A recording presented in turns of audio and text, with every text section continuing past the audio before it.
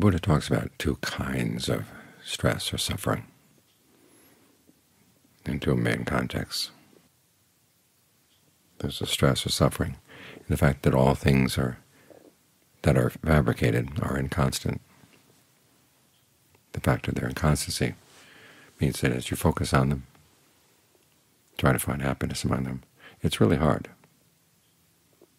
There's stress simply in the fact of the fabrication. It's like trying to build your house on a sandy plot where the ocean is coming in and there are lots of earthquakes. Things are constantly changing.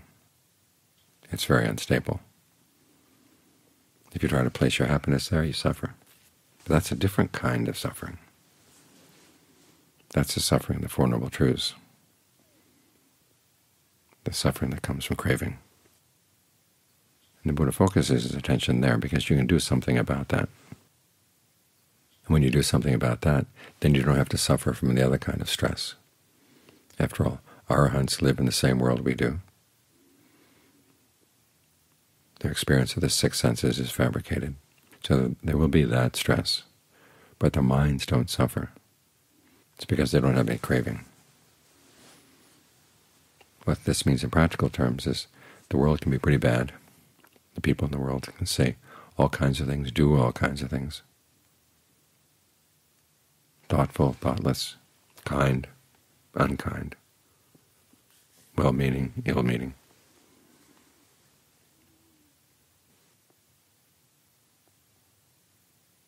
and it can be painful.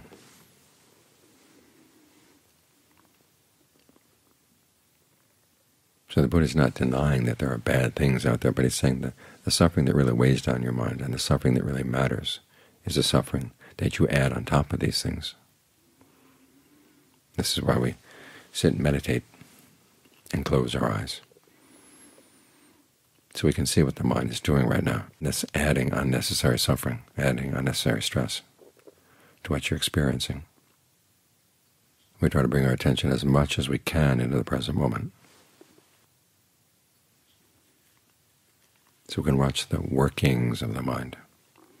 Because otherwise we get into thought worlds. And the thought worlds can take us far into the past, far into the future, all around the world many times, in the blink of an eye. And we get into those thought worlds. We can't see how they're constructed. We have to be able to step out of them a little bit. Go back to the construction site. The construction site is right here, right now. We focus on the breath because it's very close to where these things are constructed. In fact, sometimes the way you breathe plays a role in how a thought forms. So try to stay here as much as you can. In the beginning, you don't want to get involved in anything else. Just stay right with the breath. Be as steady as you can, as calm as you can. And learn how to relate to the breath in a way where you can be friends. We have lots of cartoon ideas about how we breathe, or how we should know the breath. For instance, when you're told to be aware of the in and out breath, part of the mind says, well, I have to have a little marker between the in-breath and the out-breath. And the marker doesn't happen on its own. So you add it. Tighten up a little bit. You tense up a little bit. And that tightness and tension prevents a sense of well-being from growing. So think of the in-breath flowing into the out-breath, the out-breath flowing into the in-breath. Like the waters of the tides, they mingle.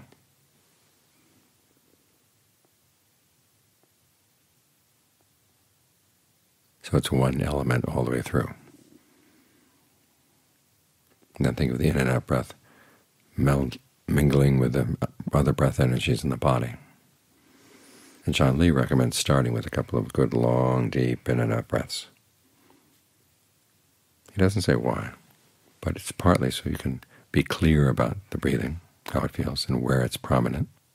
And also because as you continue with the meditation, the breath gets more and more gentle, more and more refined to the point where the breath energy seems to get still. You want to be a full stillness. You want to oxygenate your blood first. And think of all the pores of your skin opening up so the breath can come in anywhere in the body. I have a student who has lung problems. She has to wear an oxygen monitor. And she found when she sits and meditates and consciously thinks of all the pores opening up, the oxygen level in her blood goes up. So this is one way that you can allow the mind to grow calm, allow the breath to grow calm, even at the point where it seems to stop. And you're not going to be deprived. You tap into the, the breath energy. Ajaan Lee talks about how the breath energy spreads around the world. It's not just in your body. When it's all connected like that, then you can be very, very still. Yet the body has all its oxygen needs are met.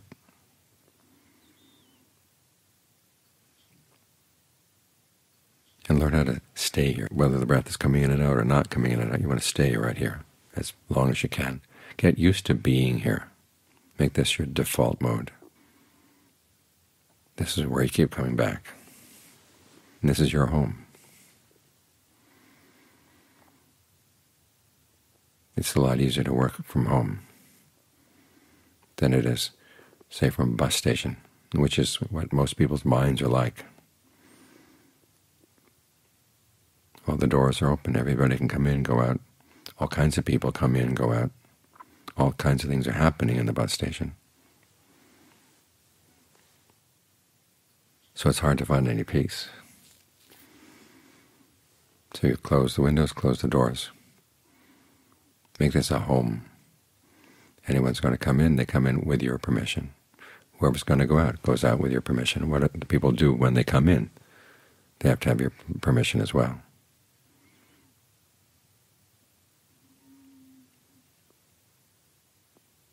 And you're the one in charge.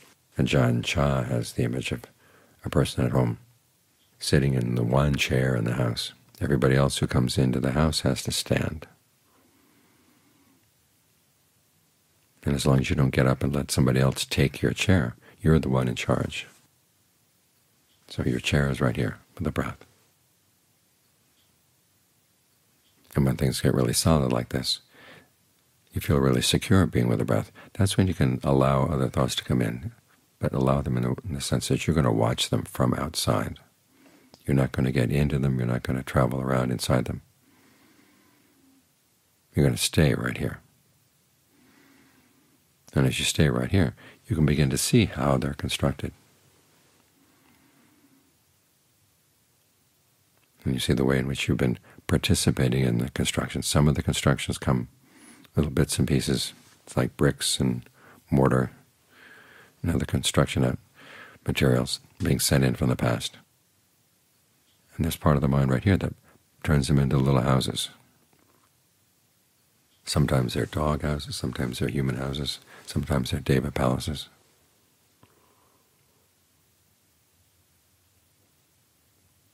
But you want to realize the extent to which you play a role in the shaping of whatever is being built. And you find yourself shaping a, really bad place to stay. Ask yourself, don't you have some better skills?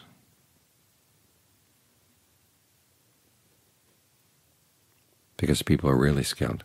They can take any kind of material and they can make a decent house out of it. When I was staying with Ajaan Fuang one time, he asked, asked me to build a shed, and he told me not to get anything new. I had to take scraps from around the monastery. And so I had to learn how to be ingenious because some of the scraps were pretty scrappy. But I was able to put together a decent shed. In fact, it's still there. And I learned a lot, much more than if I'd been able to buy new things.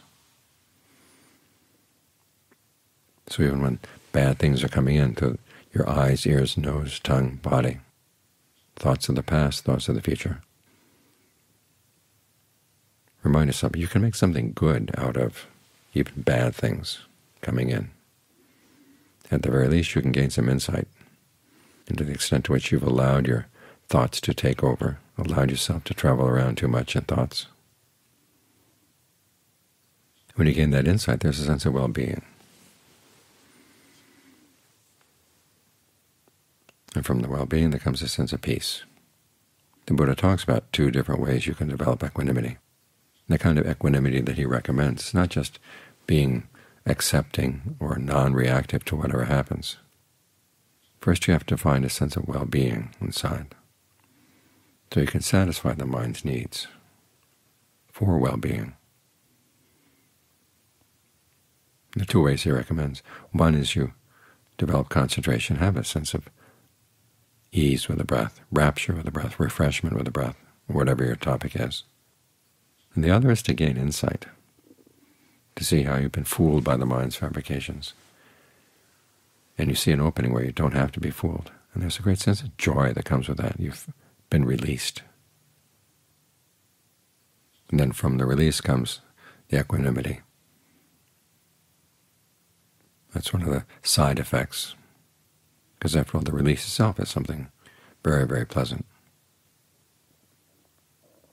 Great sense of relief. And then you can be equanimous about other things. So the equanimity has to come from a sense of well-being if it's going to be healthy. Otherwise you force yourself simply to accept, accept, accept, and it just becomes depressing. So you work on your concentration, you work on your insight.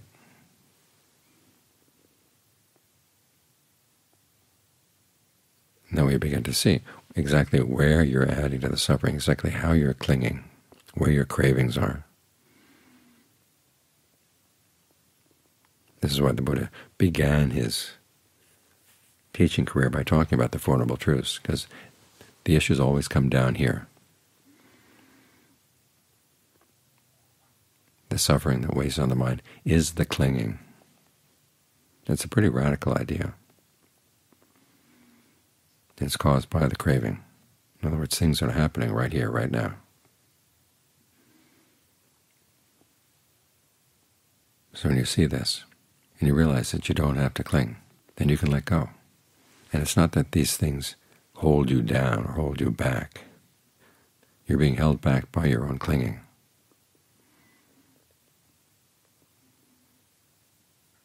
well, held back by your own craving. So when you can let go, the things of the world are not going to try to run after you. You let them go, everybody goes back to their own place.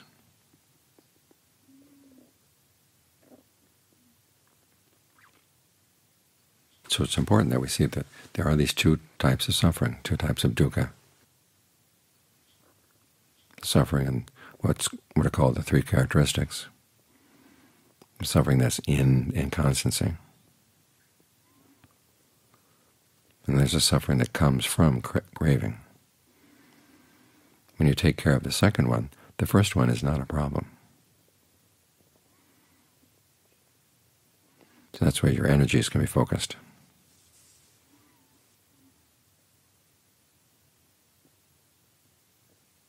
When this problem is solved, then there's nothing else to weigh down the mind.